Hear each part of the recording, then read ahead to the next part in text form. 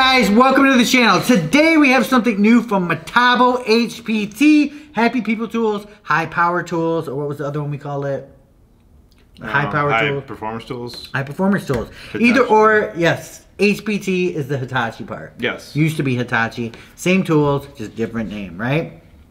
What do we know about Hitachi? Hitachi, we know we've gotten a lot of tools from them and absolutely love them. They got the uh, a compressor called the Tank, which is awesome. They've got one of the best framing nailers, Oh yeah, which is awesome. They're really known for framing nailers. yeah, which I mean is great. And I'm um, man, there was one other thing we just got. A, what did we?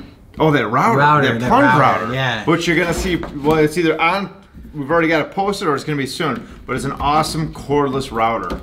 Yes, we like to call them the sleeper of tools because you know they're not crazy expensive. They're right in line with everything else. But it's like when you get them, you're like, wow, this thing kind of you know is a lot better than I thought. Right? Yeah, like, exactly. Nice ergonomics, stuff like that. This is their one-handed, their entry level one, not entry level, but their entry into the one-handed recip saw. Yes. market. Yes. And I gotta say, out of all of them, this is the most comfortable one I felt. Just the grip just feels good. I like everything about it. Mm-hmm. Um, what do you think about the grip? Well, I like the grip. Well, here's a couple things too before we jump into it. Is the actual the battery? So it uses their multi-volt battery platform. So it's a 36 18 Okay. battery, which is cool. So it's interchangeable, which is nice. Plus, if you want to, you got that unlimited power like we've shown in the past. Yeah, if you want to plug it into a wall, which could, I mean, Yeah. the saw might overheat though if you're going like three hours straight. Yeah, I mean any any smaller tool will too. So it's got the battery uh, status fuel gauge on there, which has got four bars, so 25% each time, if my math is correct. Wow. Um, Smart. like, like Dan was saying, it's got a nice overmolded uh, grip to it. It's one hand, it's one finger actually, one finger control. I've seen some with two. I like the one finger personally. Yeah, You know, what do it's just two? it fits nice. Like almost where two lay on the trigger. Oh, yeah, yeah, You know I like mean? it. I like this. Easy to access. You know the lockout feature if you don't want to hit it if you're going up a ladder or something like that, or you're holding In it your bag. or how many times I can't tell you how many times I've been carrying a bunch of tools together and then all of a sudden it's slipping on your finger and it's going off, you know. Um, one thing is that's pretty cool that I like about this is the adjustable shoe. I don't know if they all have adjustable shoes or not. You know what? I don't think the Milwaukee does. That's what I'm saying, and I like this because The first gen did it. I don't know about their brushless. yeah, I don't know. But what's nice is you get more use of a blade then, so you're not cutting in just one point, and it's a nice long extension on there. I mean, from right here to all Yeah. the way down, so you're getting.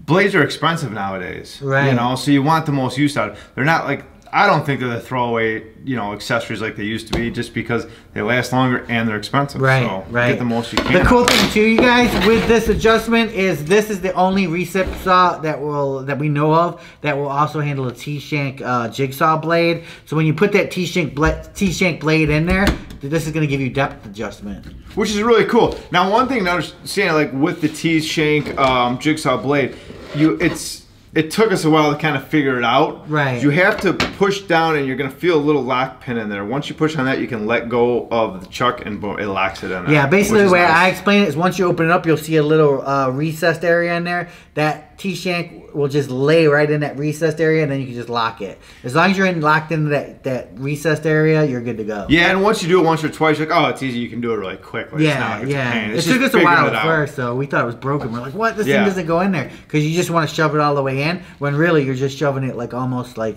three quarters of the way. Then it locks, right? Yes. Um, as for power, you know, I mean, it's a compact saw, right? It's, it's about what you expect for power on on something compact like that. It is. Is this one brushless, Eric?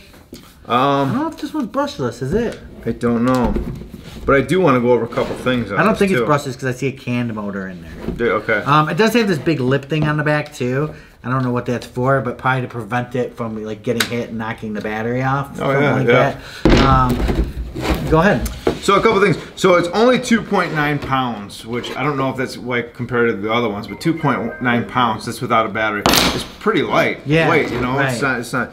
Um, only 13.8 inches, which means you can get in between. You know, it's get it in between studs, which is nice. If you got to cut pipe, you got to cut studs. You got to do Yeah. something like that. Um, 3,200 strokes per minute. Um, I think that's. I mean, that's. the Yeah, I mean that's that about I, it. I really mean, care about. You know, what we've I mean? seen these before. They've been on the market. This is just in Metabo HPT flavor. I think they really knocked it out of the park with the ergonomics of it and the size of it. Uh, I just like that a lot. You know, and it's it's a nice smooth saw, right? You know, when you pull it, sometimes you just Yeah. feel that quality.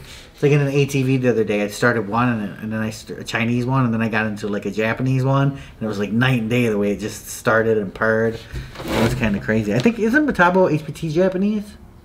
I thought they were. Yeah, I think Metabo HPT HiKOKI, you guys, is the uh, parent company. Yeah, of Japan. them. Yeah. Japan. So I mean, Japanese are known for their tolerances. They're like the you know the Asian version of the German tools, right? Because Oh, they got really high quality stuff. And like to go back to the point you're talking about is like good quality tools, but it's not like overly priced.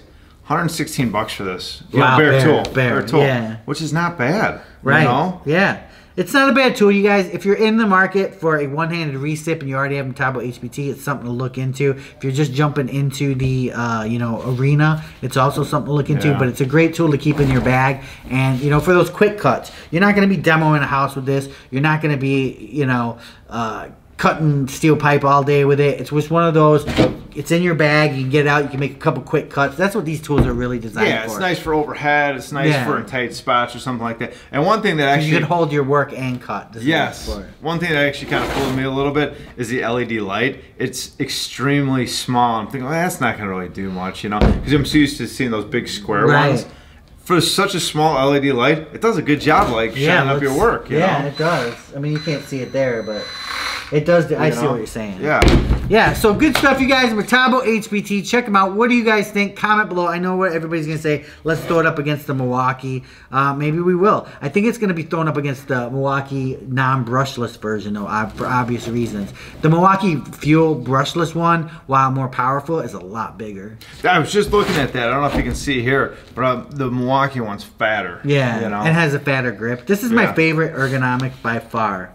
Um, you know, is it more powerful than the Milwaukee? We don't know. We'll have to throw it up against it, and we'll, you know, tool fight something like that. But But if you're already part of the Metabo line and you're looking for a nice saw, this is a nice addition because, like we've touted tons of times before, is that you know a lot of these power tool manufacturers don't make the best of everything. You know what I mean? So you want to actually research before you actually go out and buy a tool. This one, if you're looking to buy something, it, it's a good buy. right, Metabo HPT is just kind of known. Hitachi is known for reliability, and you know, That's the other thing I totally forgot about. That they're known for. Um, or no, never mind, never mind. What were you gonna say? else. Grinders, but that's that's the original. That's the Metabo. That's the original. That's, the regular Metabo. Remember, you guys, there's Metabo and Metabo HPT. We know it's confusing. We think you guys got it down now. Um, you know, it is confusing. yeah. It is Yeah. confusing, but whatever. You guys know. HPT, Happy People Tools. Click like, click subscribe. Peace.